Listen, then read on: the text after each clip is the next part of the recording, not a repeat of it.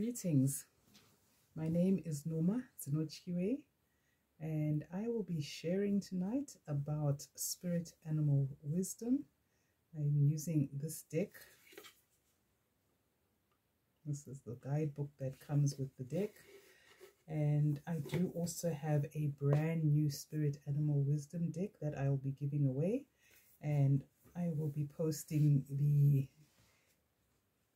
details in the description box on how you can get this beautiful deck, which is Beautiful Animal Wisdom, known as Animal Medicine by the Native Americans.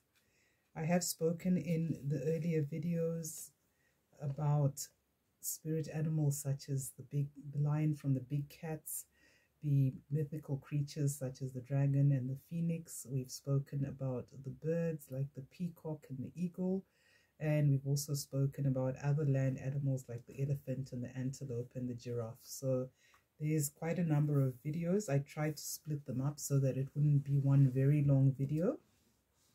But there is a lot of wisdom that the animal world has to offer in all spiritual traditions, including the Bible. So the Bible actually talks about learning the lessons from the ants, especially for lazy people, in terms of how the ant stores up its food um, in winter. There are other examples of things we can learn from um, animals, and that's really the core of what animal wisdom or animal magic is about. And just integrating those lessons into your own life, meditating on the behavior, seeing how it can change your behavior. When you work with this deck, it's the deck itself it actually comes with visualizations and meditations and messages. So today I'm speaking about the different creatures. Uh, I'll, start with the spider. This is actually quite a beautiful picture of a spider. Um, lovely pastel colors. It's not the crazily fearsome creature, at least from this image that we commonly associate with spiders. Uh, I have seen spiders in the wild, you know, all sorts of beautiful, wonderful colors. Um, and they spin their webs and they have a very interesting message once you get past the fear factor. Personally, I'm not afraid of spiders. I, I have my own other phobias, but spiders aren't one of them. The spider is a dream weaver the element is of air. The in Greek mythology, uh, there is a story about a beautiful woman, which was I'm not sure she was beautiful, but she was very talented at weaving. And the goddess Hera became very jealous because I believe um, Zeus was attracted to her, may have had an affair with her if I recall, or admired her. So Hera was very jealous. Um, and at some point, I think there was a competition, and Arachne won. And they then she she was Arachne was then Arachne was then turned into a spider by Hera to continue weaving. That's the legend. Um, so spiders in Latin are known as arachnids from Arachne. So very interesting story there. But the element is air because the spider literally weaves its webs in the air between two objects that connect it. Spiders commonly will spin a web in a place that they perceive to be undisturbed. So if you don't want spiders in your house, make sure that you dust your house because where they see dust, it means that the place is undisturbed and they'll weave their webs. So just dust your house regularly, clean regularly. Spiders also don't like strong smells. So if you clean your house with pine gel or you spray your house with peppermint uh, spray, and I will put um, the recipe in the comments for peppermint spray if you don't want spiders in your house. Um, that's what you use. Um, we used to get these great big rain spiders that would come down from the palm trees.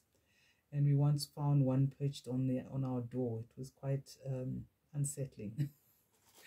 especially for those that are afraid of spiders in the house. So uh, we sprayed all the doors and all the windows with peppermint spray and we never saw them again.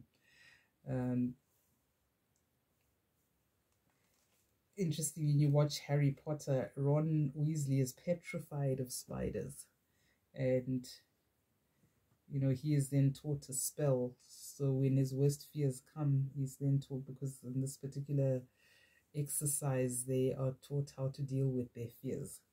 Um, and he has his spider on roller skates. So it turns, turns uh, you know, it turns it into something funny. But that's an aside. So the message of the spider is to tune into the energetic grids around you. Where can you send your energy for healing? Spiders are masters of communication. Their webs connect us to nature, the sky, land, sea, and air. These webs are information highways. They are the energetic ley lines around the earth, the golden webs between the trees that form a grid to hold the space, the golden cords we send out to one another. Spiders are the dream weavers that connect the earth and the heavens and maintain the webs between both the inner worlds and cosmic realms. Excuse me. They show us what is possible when we look outside our limiting beliefs. They weave their webs without any restraints of gravity, and the, the silk they produce, weight for weight, is stronger than steel. Have you ever tried getting rid of cobwebs? you know exactly what I'm talking about. It's, they're indestructible. They teach us how to make our visions and dreams a reality. Spiders are often feared, but I ask you to look beyond your perception and listen to their message. If you pull this card, you are being asked to look at your dreams and aspirations more closely, the ones you wish to fulfill but have been holding back from. The spider can be your biggest guide in fulfilling these if you call on his energy. The spider also asks you to do some earth healing, to tune into the energetic grids around you. Open your heart and send your heart's light downwards with the intention of lifting, linking up with the energetic grid of the earth. You can call on Archangel Metatron to assist you and the spider to repair these grids. Archangel Metatron is a keeper of sacred geometry and is prevalent in working and protecting the energetic grid structures around the earth. Crystal companions are spiderweb jasper, selenite, and moldavite. Selenite is white in color and it is a powerful healing crystal. It can be used to charge and cleanse your crystals. And it's associated with the energy of the moon. Again, there's an in interesting reference to sacred geometry because every spider web is built according to very precise geometric principles and which is what makes it so strong and and uh, able to do its function of trapping the prey um, that the spider feeds on. And you get tiny webs made by tiny spiders and huge webs made by huge spiders. Some webs are even capable of trapping birds. That's what you call the bird-eating spiders. If you ever go to Atlanta and you drive up from the city into the mountains, you see these very tall trees with these huge spider webs with birds caught in them. Um, luckily they're very high up in the trees where the birds actually fly. I think I might freak out if I, you know, encountered a web of that size or the spider that made it. But that is the lesson of the spider. She's a dream weaver and associated with helping the earth to repair the energetic grid or the ley lines that are around it. And if you go to places like Mpumalanga, which sits on I think there are a number of ley lines that flow through the area.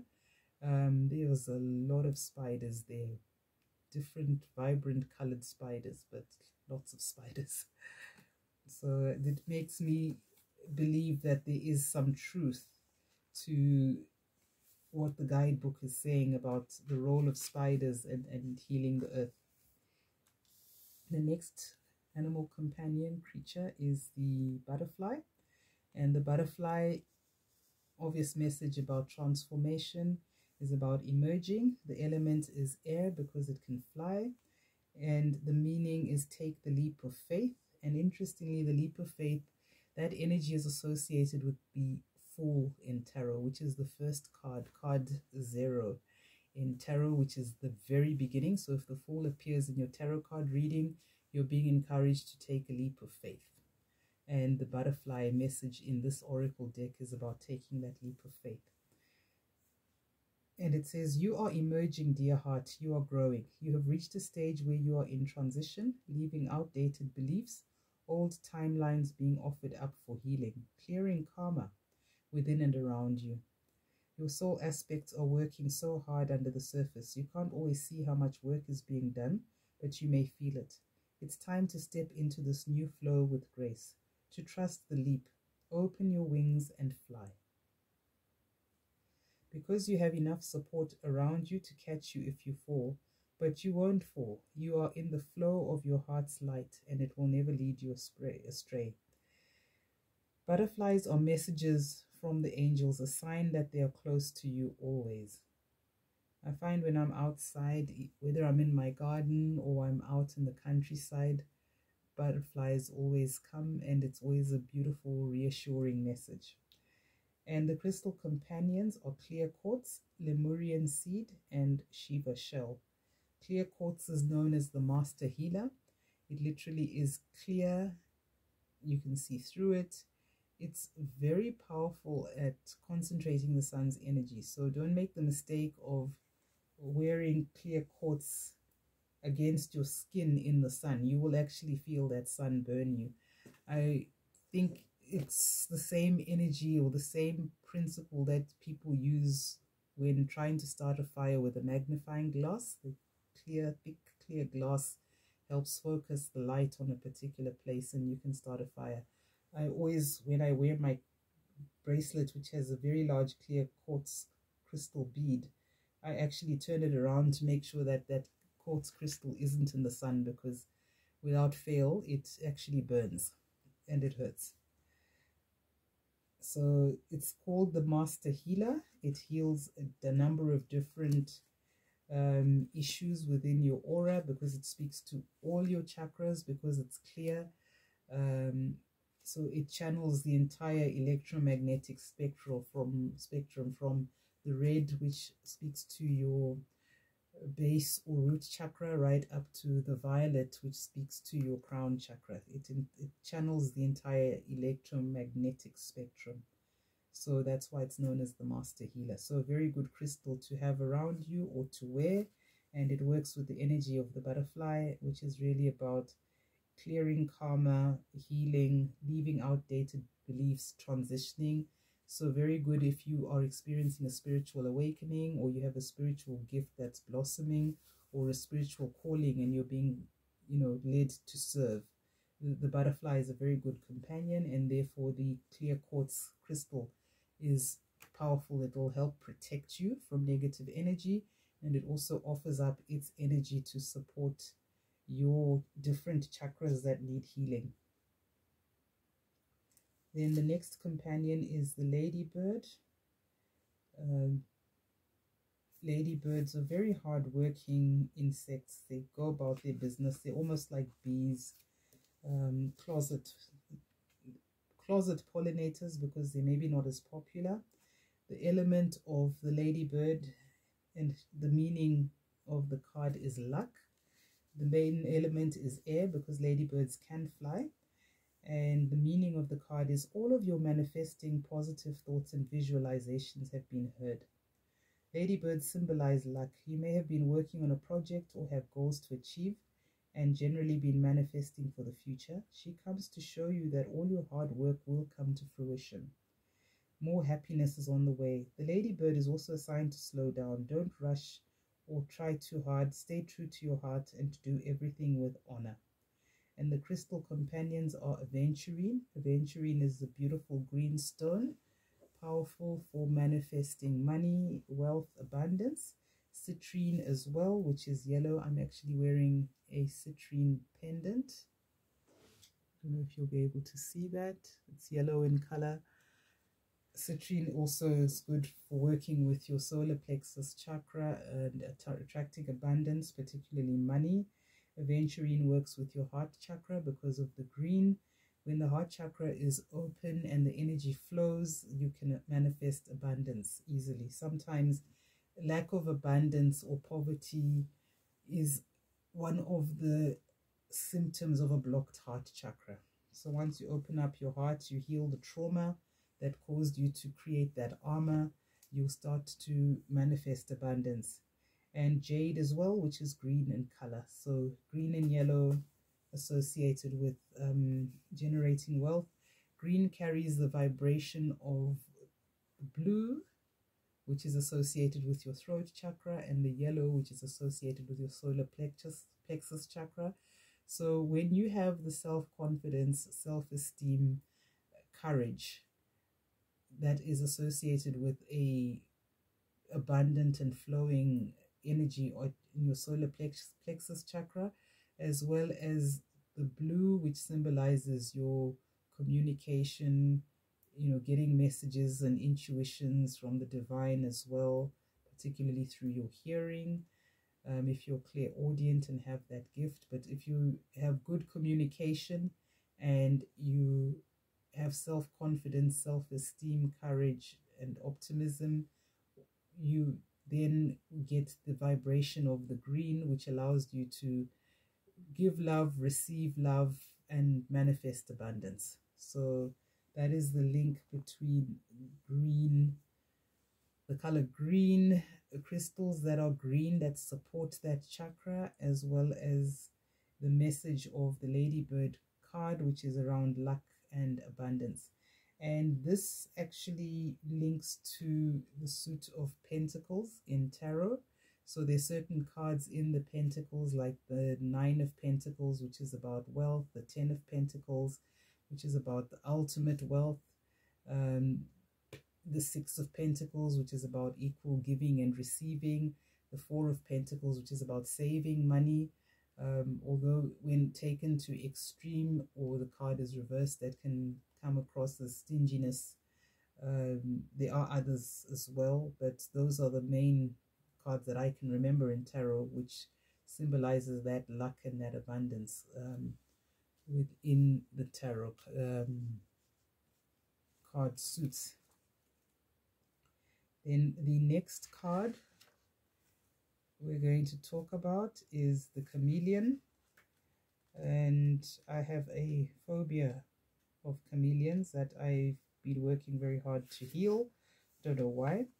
Um, but I did get some guidance some time ago about there's a story about in, in Nguni cosmology or myth, there's a story that the Most High, the Creator, sent two messages to humanity. One came with the lizard, and the other one came with the chameleon. And the lizards, the, the lizard was actually sent after the chameleon. The chameleon was sent first to humanity with a message that human beings would live forever. Then the lizard came after, was sent after the chameleon.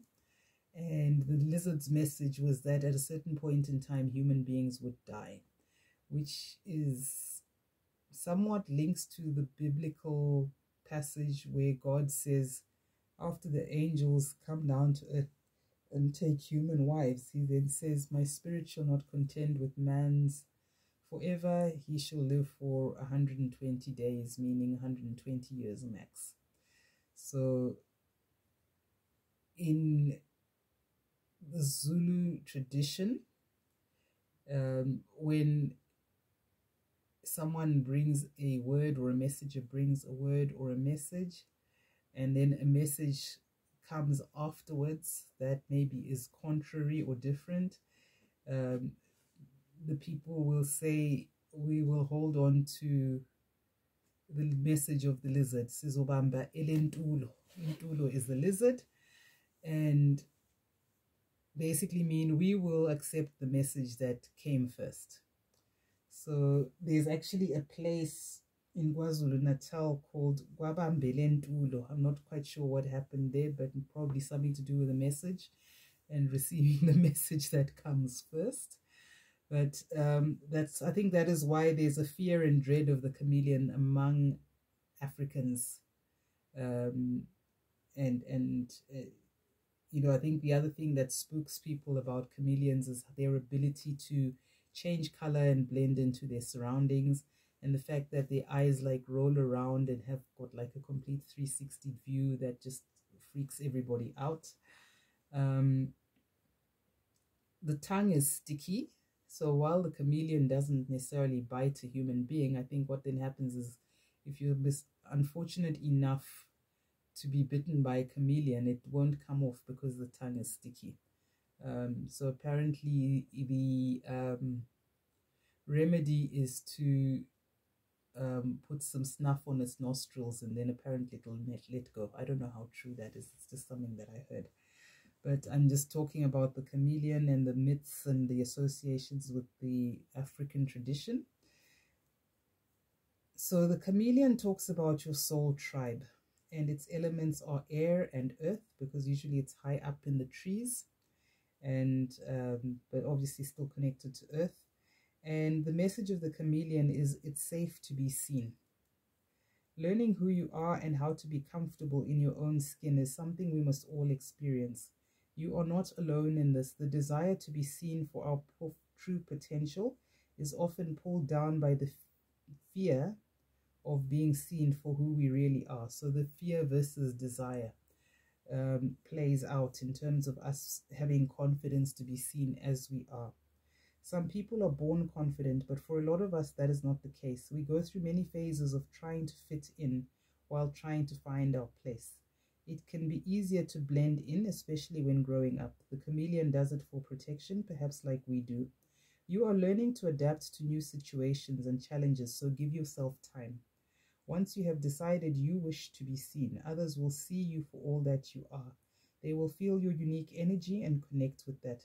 Pulling the chameleon card symbolizes that your soul tribe are on their way to you.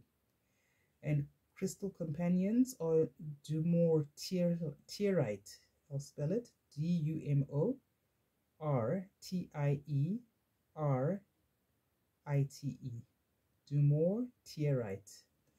Then Hiddenite, very interesting name, and Wulfenite. I'm not really familiar with any of these crystals, but it'll be interesting to find out along the way. I think for a lot of us who have healing gifts and reluctantly accepted our calling, um, the chameleon carries a worthy message for us, which is to it's safe to be seen. Um, a lot of us who are healers have healing gifts, have a calling to heal, carry the vibration of having been healers in a past life. We also carry traumatic past life memories of being persecuted for our beliefs. Gogo Dineo Ndlanzi talks about that. She's done past life regression, seen her past lives, and in a past life, she was persecuted for her beliefs. And what it does is when we come into this incarnation, into this life, we carry that trauma, we carry that fear, and we spend a long time running from our gifts, running from our calling, wanting to blend in, wanting to be like other people. Personally, that was my experience until at some point I was forced to accept that this is who I am, this is who I need to be, I need to carry out my mission, and I have come into the li- this life to heal some of that past trauma as well as some of the ancestral trauma that has been experienced by people in my lineage and I'm heal, here to heal all of that and to teach others to do the same. So I think for me, that for the longest time, the chameleon was something that was, you know, not my favorite thing to see because I think subliminally I was getting that message. I did also receive guidance from my guides some time ago that that old story about the lizard and the chameleon. It's literally two races, reptilian races of extraterrestrials. One race of extraterrestrials wanted to control humanity and use our resources, and their bloodlines are still very much alive on Earth today.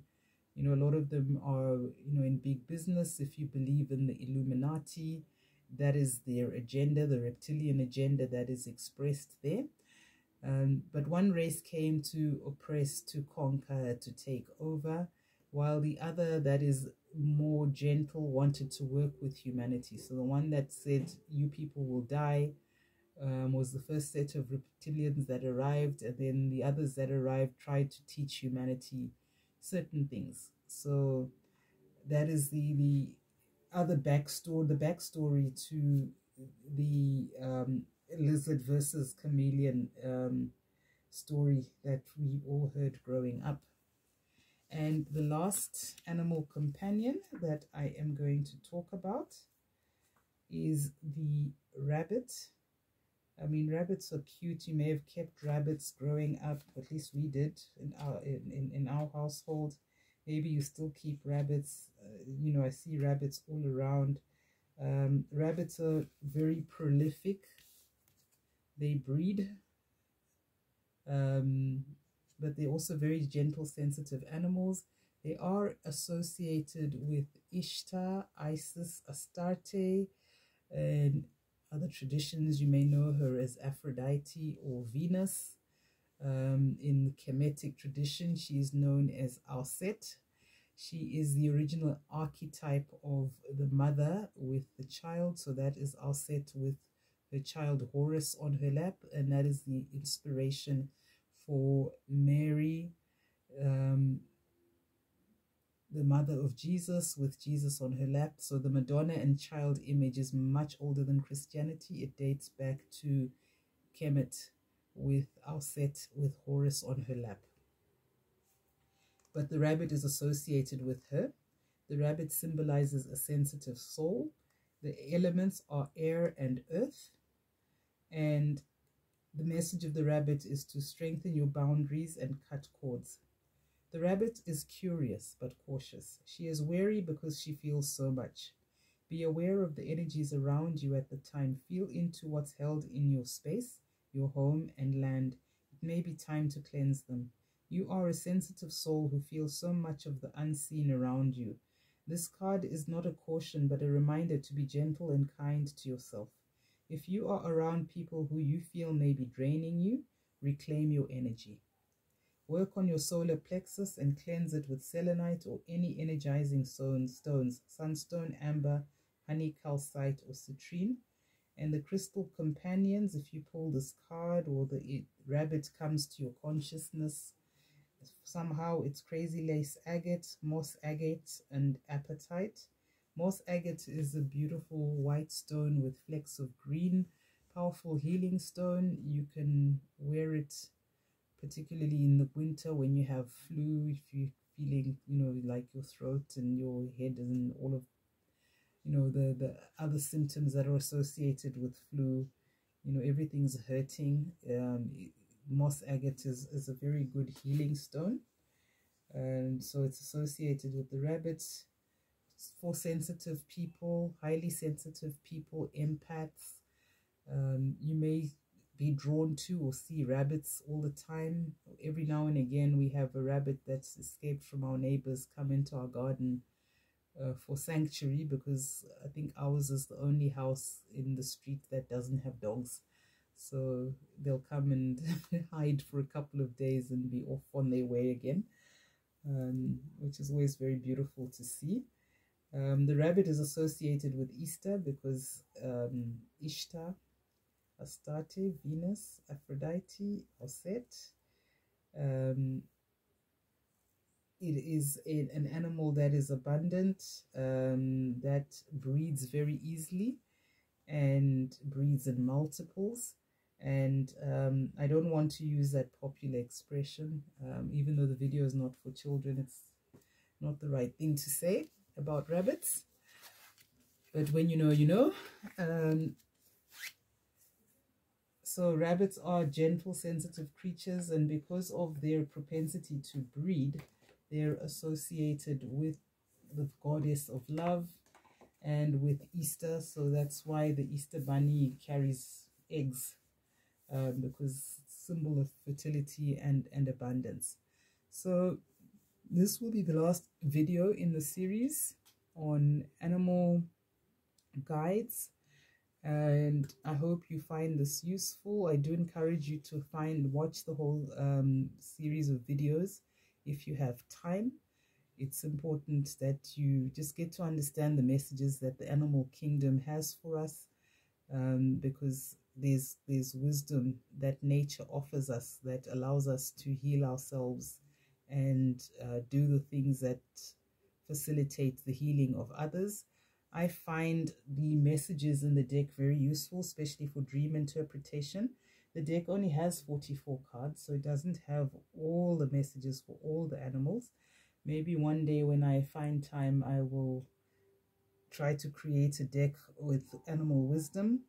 Animal wisdom is associated with earth energies. Um, also, there's some animals associated with the air and water, um, but nature is pretty much about earth. So if you have strong earth energy or guides that have a strong affinity to earth, to air, to water, you'll find that certain creatures always appear before you and they have messages for you and you'll learn to use your intuition tap into it understand the message it's also good to meditate because as you meditate give your brain a little bit of a holiday and you also then allow your subconscious and your intuition to work and you receive messages from your guides that way so Thank you for watching. Thank you for liking, sharing, and subscribing. I really appreciate all of the engagement. And I hope that you have a pleasant evening or the pleasant rest of your day, depending on when you're watching. And I look forward to making another video. And thanks again for watching.